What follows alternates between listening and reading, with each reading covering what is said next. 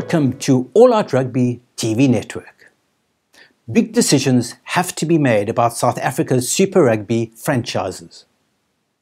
Joining us today are Tank Lanning and Zelim Nel giving their expert opinions how to tackle the South Africa's Super Rugby situation. Tank, first up, how do we how do we fix this mess?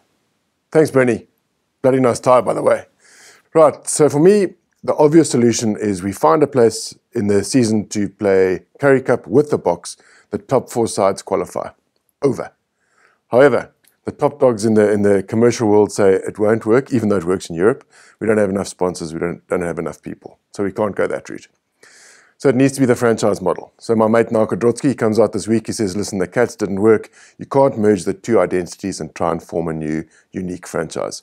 So that model is not going to work." Some research out of Australia says we need some geographic identity. Okay, so we're going franchises. It needs to be geographic, uh, and it needs to be one of the existing franchises. So we have a look at some numbers. Nielsen did some great research this week. Rugby fans in South Africa 22% Western Cape, 21% Gauteng, 19% Eastern Cape, then along comes Durban. Black rugby fans in South Africa, however, 27%, top of the log, Eastern Cape where uh, the most viewed teams on TV, okay, obviously TV's fallen off the cliff, we all know that, but those that are still watching, Stormers, most viewed, and the Kings are, are the least viewed, of course, because they've played the worst rugby. But aren't they a side in transition? The most supported teams in South Africa, according to the research, Sharks, 33%. And that's where my conundrum comes in. Because so if we do sort of a process, process of elimination, it's impossible to argue the case for the Cheetahs. Not enough people there, not enough money happening, not, not enough interest. They're out.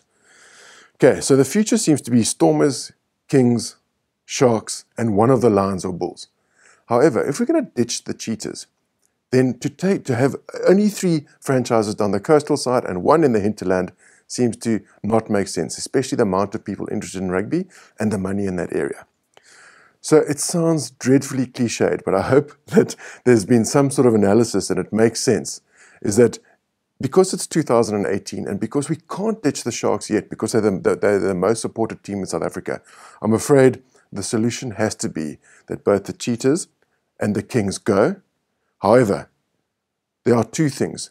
The Sharks and, and the Stormers need to be resp- responsible, partly responsible for growth of rugby in the Eastern Cape.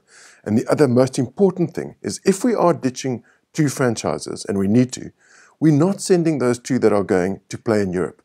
South Africa can only staff four franchises, and we need those to be staffed with our best players, not split across six.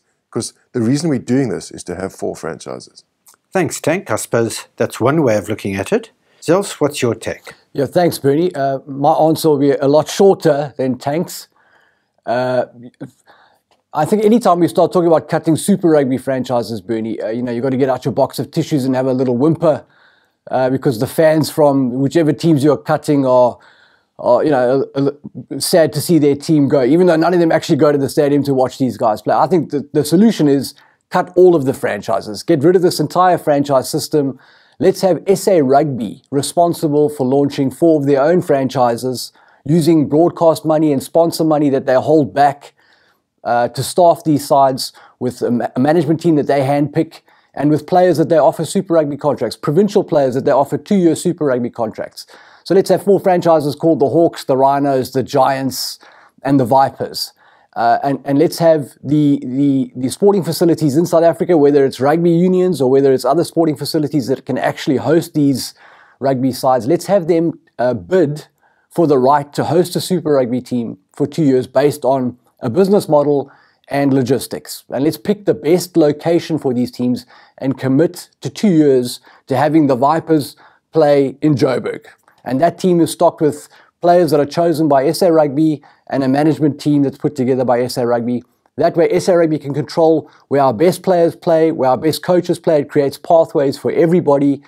For me, it's a win win win situation, and that's a three letter word that South Africans can really afford to hear again. Well, that was very, very interesting. Really super stuff. Until next week.